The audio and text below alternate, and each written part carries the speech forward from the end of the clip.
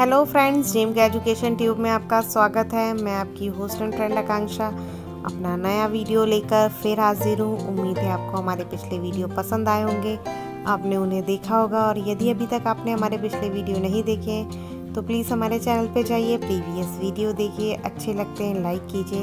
अपने दोस्तों से हमारा वीडियो शेयर ज़रूर कीजिए और हाँ यदि अभी तक आपने हमारा चैनल सब्सक्राइब नहीं किया है तो सबसे पहले हमारे चैनल को सब्सक्राइब कीजिए और बेल आइकॉन दबाना ना भूलें, क्योंकि उसी से आपको अगले वीडियो का नोटिफिकेशन मिल सकेगा समय पर और आप उसका लाभ ले सकेंगे। आप हमारे चैनल से संबंधित लिंक और पीडीएफ चाहते हैं तो आप हमें हमारे टेलीग्राम ग्रुप में ज्वाइन कर सकते हैं। वहाँ पे हम हमारे चैनल से संबंधित लिंक और पीडीएफ समय समय पर डालते रहते हैं, आप वहाँ से उसका लाभ ले सकते हैं। और यदि आप चाहते हैं कि आप कोई भी टॉपिक पर वीडियो पाठ्य योजना या और भी कुछ एक्सप्लेन हम आपके लिए करें तो आप हमें हमारे एफ़ पेज पर फॉलो कीजिए, हमारे एफ़ पेज को लाइक कीजिए, वहाँ पे अपनी डिमांड बताइए मैसेज द्वारा या कमेंट द्वारा, और वहाँ पे आप हमसे, हमारे वीडियो से संबंधित कोई भी बात पूछ सकते हैं, हमसे कांटेक्ट कर सकते हैं, उसके लिए आपको हमारे एफ़ पेज पे हमें फॉलो करना पड़ेगा। हमारा कोई व्हाट्सअप ग्रुप नहीं है अभी, इसलिए आप हमें मैसेज करके नंबर बता के कुछ भी सेंड करने ना बोला करिए। प्लीज़ इसके लिए आप हमें से, सिर्फ़ हमें एफ़ पेज पे वहाँ मैसेज कीजिए। यदि हम आपकी डिमांड पूरी कर सकते होंगे तो हम वहीं पर आपको मैसेज द्वारा आपके सवालों का जवाब देंगे। चलिए शुरू करते हैं। इस वीडियो के टॉपिक पे चर्चा करना, जो कि है लेसन प्लान नंबर 52 हिंदी की अभी तक हम 51 लेसन प्लान बना चुके हैं। उसी सीरीज़ का ये 52 नंबर का लेसन प्लान है, अगला लेसन प्लान है हमारा। सबसे पहले हम लेसन प्लान का क्रमांक डालेंगे, हर पाठ्य योजना की तरह। यहाँ पे हमारी पाठ्य योजना क्रमांक बावन है तो आपकी जो भी पाठ्य योजना का क्रमांक हो, वो आप डालें, फिर इस तरीके से ब्लैक बोर्ड फिलिंग बनाएँ, जिसमें कि नाम, विद्यालय का नाम, कक्षा, विषय, दिनांक, कालखंड और समय और प्रकरण हमको डालना होता है। नाम में आपको अपना नाम लिखना है एन आई से डी एल वाले यहाँ पे छात्राध्यापिका का नाम की जगह प्रशिक्षु शिक्षक का नाम भी लिख सकते हैं और आप चाहें तो ये भी लिख सकते हैं, कोई इसमें वो नहीं है। लेकिन यदि आप प्रभावशाली चाहते हैं आपकी पार्टी योजना तो आप यहाँ पे प्रशिक्षु शिक्षक का नाम लिखें। विद्यालय, कक्षा और विषय कक्षा हमारी सातवीं है और विषय है हिंदी और प्रकरण है हमारा मोगली उत्सव। फिर हमको उद्देश्य लिखने होते हैं। पाठ्य योजना के दो उद्देश्य हैं हमारे, सामान्य उद्देश्य और विशिष्ट उद्देश्य। सामान्य उद्देश्य हमारे हिंदी विषय से संबंधित और विशिष्ट उद्देश्य हमारे प्रकरण से संबंधित।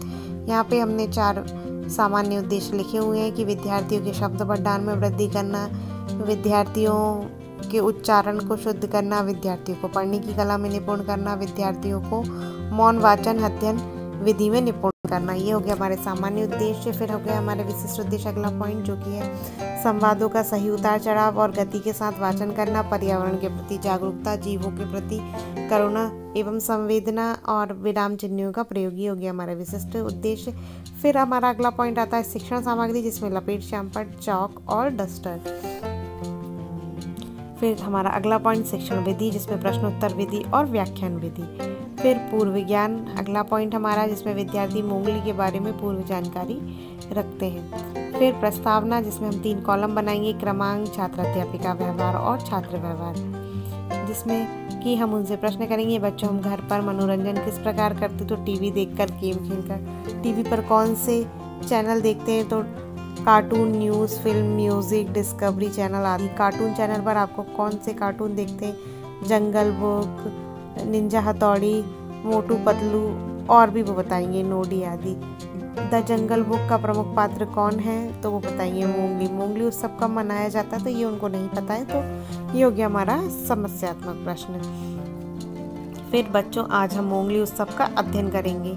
और जानेंगे कि मुंगली उत्सव कब मनाया जाता है। इस तरीके से आप उद्देश्य कथन बोल सकते हैं। फिर आता है आदर्श वाचन, जिसमें छात्र अध्यापिका द्वारा पाठ का विराम चिन्ह, अर्ध विराम चिन्हों के साथ को ध्यान में रखते हुए स्पष्ट वाचन किया जाएगा। अनुकरण वाचन में छात्र द्वारा पाठ का अनुकरण वाचन किया जाएगा और अशुद्धियों को दूर किया जाएगा। फिर आता है काठिन्य निवारण, जिसमें छात्र अध्यापिका द्वारा कठिन शब्दों को सरल शब्दों में बताया जाएगा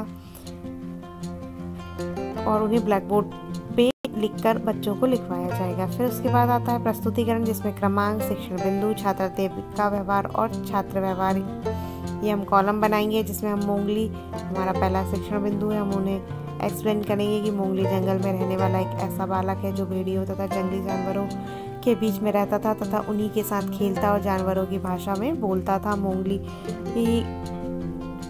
के cartoon film the jungle book को भी टीवी पर प्रसारित किया गया है, जो बहुत ही लोकप्रिय रहा है। विद्यार्थी इस समय क्या करेंगे? ध्यानपूर्वक सुनेंगे। फिर मोंगली उत्सव के बारे में हम बताएँगे कि मध्य प्रदेश स्कूल शिक्षा विभाग द्वारा छात्र छात्राओं में वनों तथा वन्य प्राणियों, जीव, जंतु और पर्यावरण के प्रति चेतना बढ़ाने हेतु मोंगली उत्सव कार्यक्रम प्रारंभ किया गया। इस समय छात्र की क्या रहेगी, वो ध्यानपूर्वक सुनेंगे।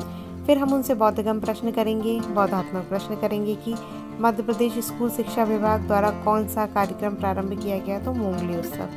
द जंगल बुक प्रसिद्ध लेखक स्टियार्ड केपलिंग की पुस्तक द जंगल बुक का प्रमुख पात्र मोंगली है। मोंगली का चरित्र पैंच के जंगलों के सिवनी ज़िले के संत बावड़ी गाँव में सन 1831 में पाए गए। ऐसे बालक पर आधारित है जो भेड़ियों के बीच रहकर पला। इसका उल्लेख सर विलियम्स हेनरी एलिबन ने अपने एक plate the account of bulls nurturing children in the in their dams में किया था। इस समय छात्र क्रिया क्या रहेगी कि वो ध्यानपूर्वक सुनेंगे। फिर हम उनसे पूछेंगे द जंगल बुक मूवी का प्रमुख पात्र कौन सा है? तो वो हमें बताएँगे। मोंगली, फिर श्यामपट कार्ड या श्यामपट प्रारूप हमें इस तरीके का बना के लगाना होता है, जिसके लिए हम ब्लैक कार्ड शीट का इस्तेमाल करेंगे। ब्लैक कार्ड शीट को हम इस तरीके से काट कर अपनी कॉपी में लगाएँगे और इस पर सिल्वर स्पार्कर पेन से लिखेंगे। हमको इस पर as it is blackboard पर जो हम वर्क करते हैं, उसका छोटा प्रारूप या सारांश लिखना होता है।